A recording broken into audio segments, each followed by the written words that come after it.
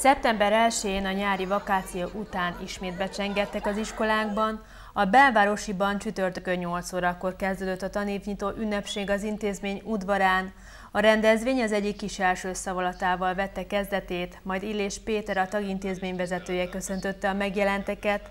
Bemutatta az új kollégákat, majd a diákokhoz szólt. Felhívta a figyelmüket a tanulás fontosságára, és arra, hogy például figyeljenek oda a környezetükre, többek között a tantermek épségére és tisztaságára. Csütörtökön hazánkban mintegy 1 millió 200 ezer általános iskolás és középiskolás diák vette hátára az iskolatáskát.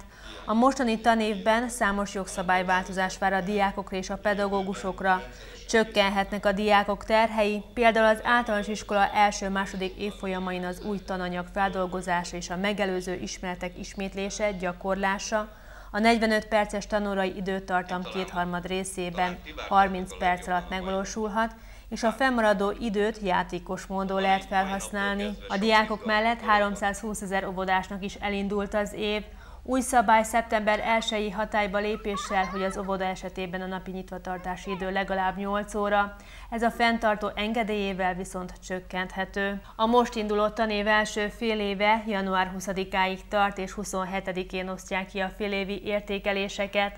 Az őszi szünet november 2-án indul és 4-én ér véget, a téli szünetben pedig december 22-től 2017. január 2-áig pihenhetnek a gyerekek. A tavaszi szünet 2017. április 13-ától 18-áig lesz, és az utolsó tanítási nap viszont június 15-e csütörtök.